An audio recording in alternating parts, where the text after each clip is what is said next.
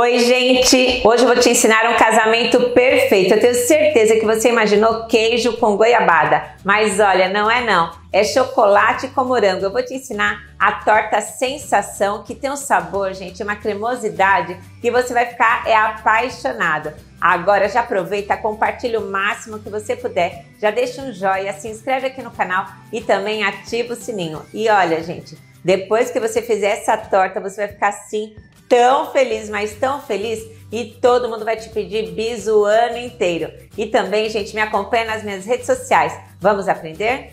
Para fazer a nossa receita, eu vou colocar aqui na panela duas caixinhas de leite condensado, duas caixinhas de creme de leite, uma xícara e meia de leite, uma xícara de chocolate em pó peneirado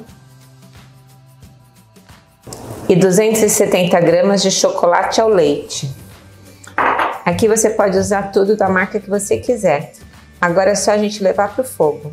E aqui no fogão já estou ligando no fogo alto. Isso porque essa panela aqui é grossa, né, gente? Mas se ela for mais fina, aí você liga no fogo médio. E é só a gente mexendo o tempo todo até ferver bem e ficar um pouco grossinho. Aqui os ingredientes já derreteram, né?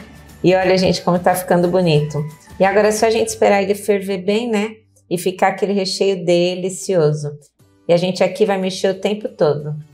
Já começou a ferver bem e agora é só a gente esperar engrossar um pouquinho.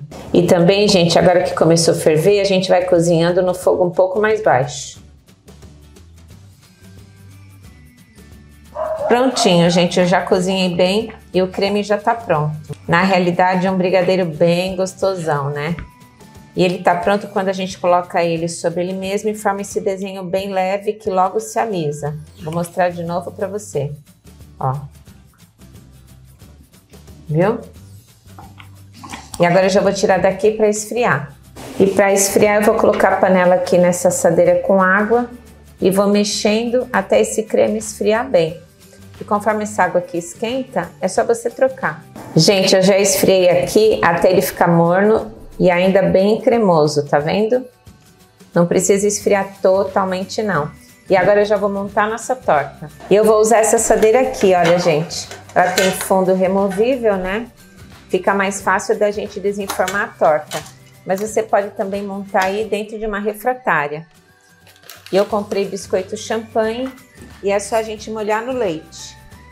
E aqui nessa vasilha eu vou colocar uma xícara de leite e a gente passa o biscoito assim de um lado e do outro e já vai montando a torta. E para montar a torta é só a gente cortar o biscoito dois dedos menor. E agora eu vou cortar vários desse tamanho para fazer a lateral da torta. E a gente vai colocar primeiro aqui na lateral.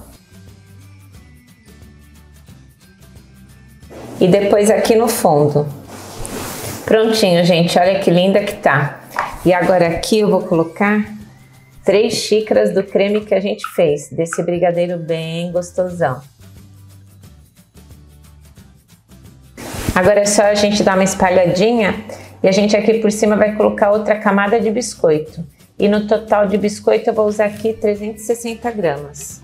E lembrando que todos os biscoitos eu tô molhando no leite. E agora aqui por cima dos biscoitos é só a gente colocar o restante do creme. Viu só, gente, que lindão que ficou? E agora eu vou levar para a geladeira.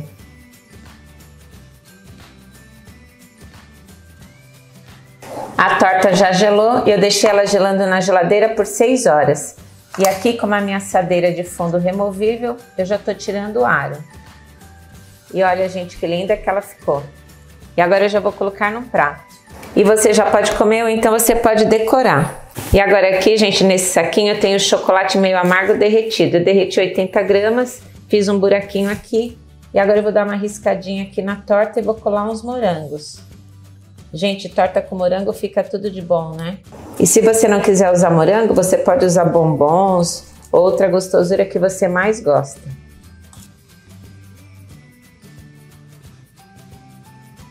Meu Deus, que gostosura! E agora aqui por cima eu também vou riscar um pouquinho com chocolate. Gente, fica muito bom. E bem fácil de fazer, né, gente? E agora eu já vou cortar nessa belezura de torta. Você vai ver que espetáculo. Você tá vendo, né? Que gostosura que tá, né? Olha só, gente. Que cremosona. Meu Deus, que gostosura. E agora? Já quer comer essa belezura? E agora é essa melhor hora, né, gente? Pegar esse pedação para você. Aceita essa torta deliciosa? E agora, gente, mais um pedaço. O que, que você acha? Aceita? Meu Deus, ficou tudo de bom. Olha só que belezura. Viu só, gente, que chocolatuda que ficou essa torta? Eu aqui, gente, tô apaixonada, né? Porque essa receita, meu Deus, é muito cremosona torta sensação de chocolate com morango. Olha, lembra aquele brigadeiro, sabe? Bem gostoso, docinho no ponto certo. E quando você come com a fruta, fica de desmaiar de tão gostoso. Agora aproveita e já faz a sua, porque você merece comer bem uma delícia desse jeito, né, gente? E eu aqui já vou comer na sua frente para você ver como que ficou. E claro que essa receita merece um super beijo. Você tá deliciosa.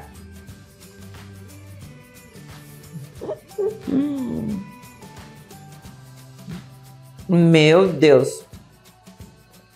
E com morango então? É tudo de bom. Hum, muito bom. E olha aqui, gente, quanto que a gente já comeu de tão gostosa que ela é. E se para você essa receita aqui tá muito grande, faz meia receita, mas você sabe, né? Você não pode deixar de fazer essa belezura. E aqui no canal também tem outras maravilhas para você fazer. Comidas salgadas, tortas, pães. Afinal, né, gente, aqui só tem gostosura. Faz aí porque torta sensação, assim é tudo de bom.